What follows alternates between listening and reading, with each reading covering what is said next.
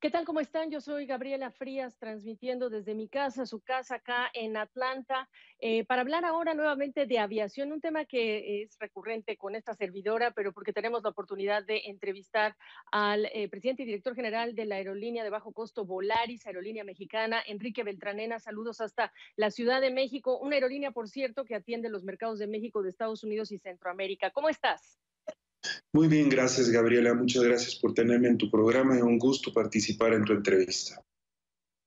Eh, para, mí también, en particular para entender eh, cómo les fue la fotografía de la operación durante el segundo trimestre del año. Hace poco dieron los resultados en términos de ingresos, de pérdidas o ganancias, etcétera.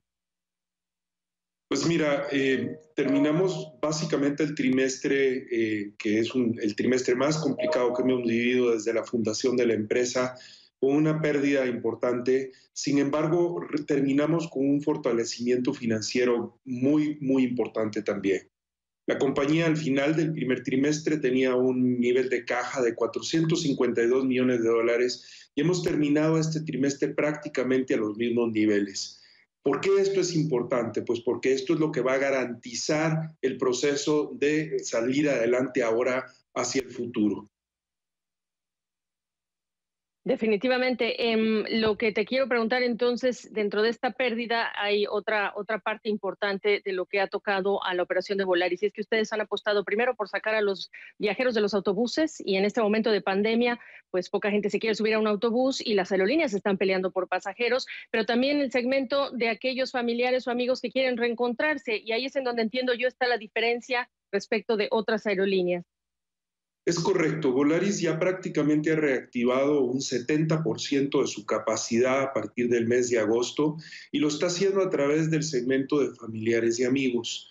Ese segmento pues, es un segmento que no necesita un hotel, es un segmento que está requerido de volar y ver a sus familiares y, y sus amigos y es el segmento que está acelerando más. El segundo segmento que está acelerando son las pequeñas y medianas empresas y el tercer segmento es el turismo nacional que sigue tratando de salir después de la pandemia.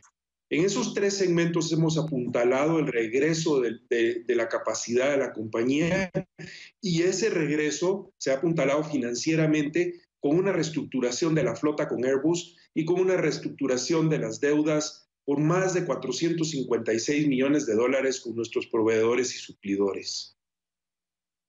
Eh, ¿Esto te da oxígeno para cuánto tiempo en relación con la circunstancia que estás viviendo en Volaris?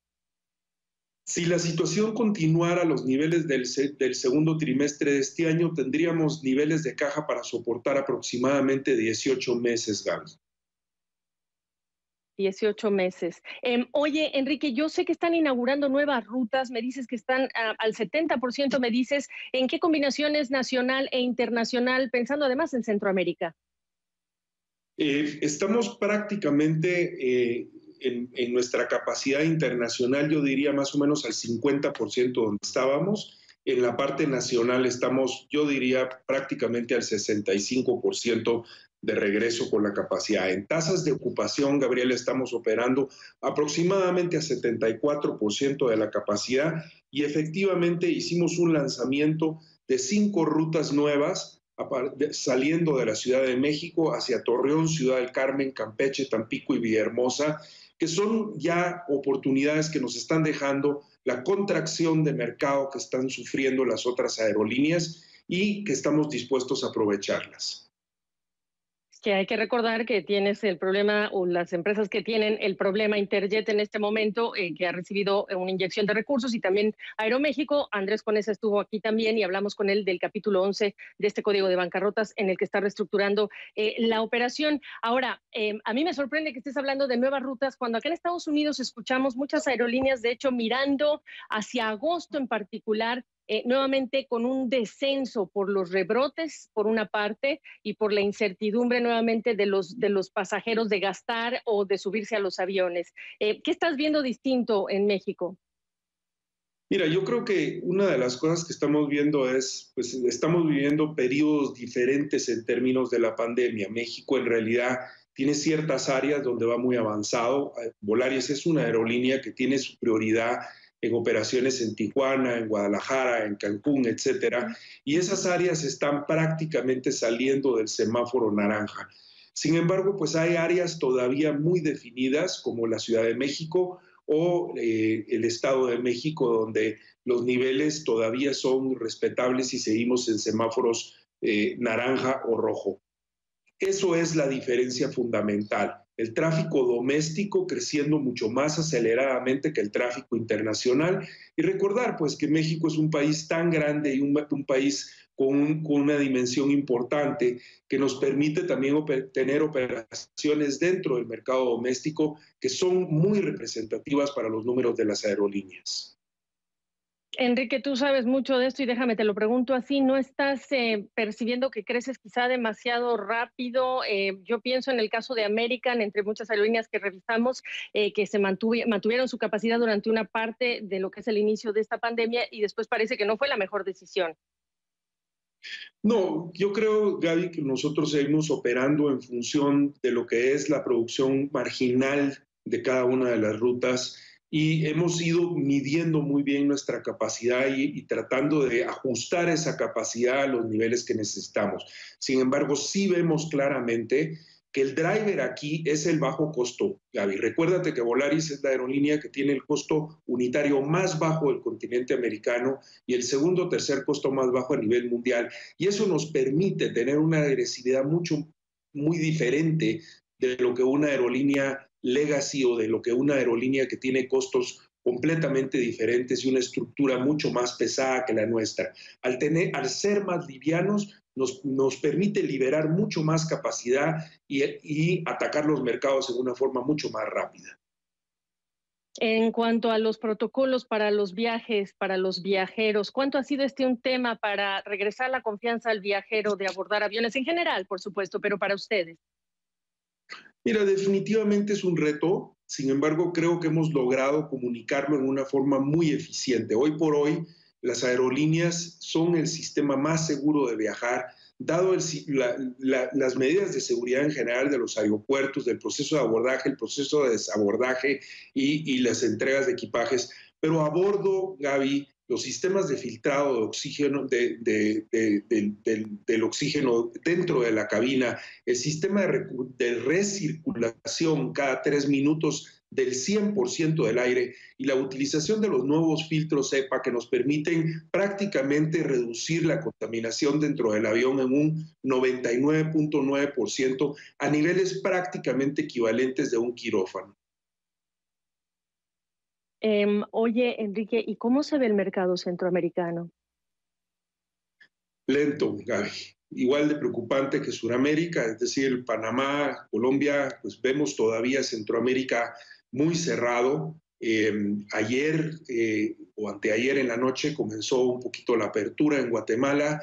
Sentimos que Costa Rica va a ir abriendo más o menos hacia principios de agosto con una tendencia hacia ir liberalizando los tráficos hacia finales del mes de agosto, pero yo no veo Centroamérica en realidad antes de septiembre eh, y posiblemente segunda quincena de septiembre. Y estamos hablando de que ahí viene el otoño y el invierno. Eh, ¿Cómo estás eh, en tu estrategia preparándote para lo que pueda ocurrir en los siguientes meses cuando no hemos podido hablar todavía de que se superó pues esta primera parte, esta primera ola? Yo creo que la, clave de, la renegociación financiera también está en cómo renegociaste los costos en función de variabilidad, Gabriela.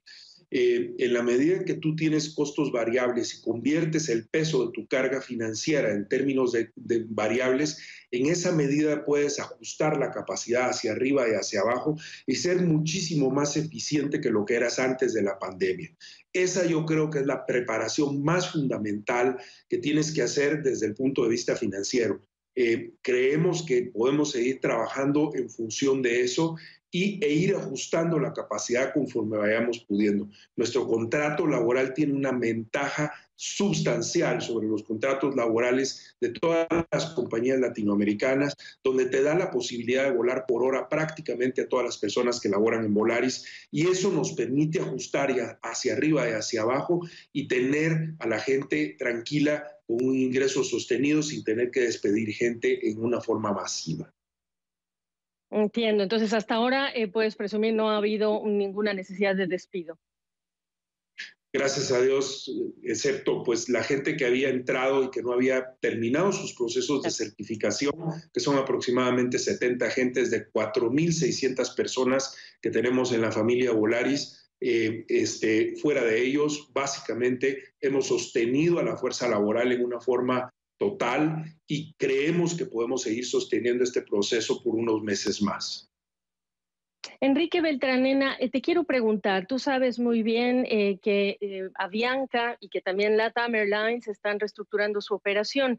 Me interesa, en función de lo que veo que estás creciendo en el mercado mexicano y a río revuelto, como dicen, ganancia de pescadores, pues cuánto esto a río revuelto es ganancia para Volaris. ¿Has pensado en bajar más allá de Panamá? ¿Estás viendo quizá la posibilidad, alguna alianza futura?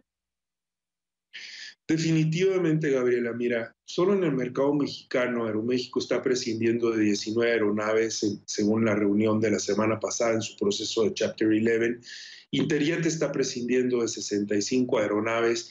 Creemos que niveles similares van a suceder en el caso de Avianca y entonces eso nos está dejando una porción de mercado disponible. En el caso de México doméstico, Hoy por hoy ya hay 24% de aeronaves menos. ¿Qué hace eso? Pues que nos da una oportunidad de atacar ciertos mercados. Sin embargo, el ataque de los mercados que vamos a hacer va a ser muy en función de la capacidad que eso venga a traer hacia el mercado core de Volaris, que es el mercado de visitantes, amigos y parientes, y ciertas partes de, turismo y pequeña y mediana empresa si esos mercados se adaptan a eso, estaríamos dispuestos a entrar hacia ellos. La operación de Sudamérica específicamente es algo que hemos venido analizando por muchos años y que podríamos arrancar en este proceso. Sin embargo, mi preocupación más fuerte actualmente es regresar la capacidad a los niveles normales en los mercados core de la aerolínea.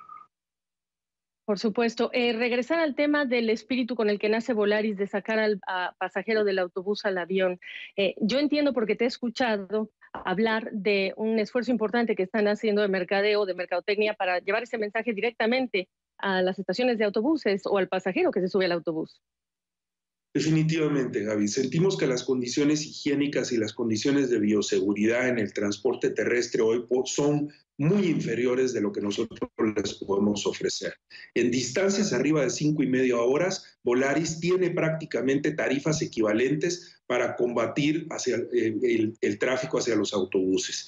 Creemos que este momento es el momento más importante para salir y trasladar a esos pasajeros que están utilizando los autobuses en segmentos de arriba de cinco horas y concretar una estrategia mercadológica de donde estamos trayendo pasajeros. En resumen, estaríamos haciendo tres cosas. El ramp-up de la capacidad en los mercados donde eh, hemos operado en forma core. La segunda, tratar de atacar ese tipo de mercados en los mercados que están siendo liberados por las aerolíneas que están teniendo problemas financieros. Y el tercer elemento fundamental es atacar las pequeñas y medianas empresas y el tráfico de autobuses en una forma muy agresiva potencialmente de cuánto, para, pero siendo razonables, eh, de cuánto universo de pasajeros estás hablando, de cuántas personas.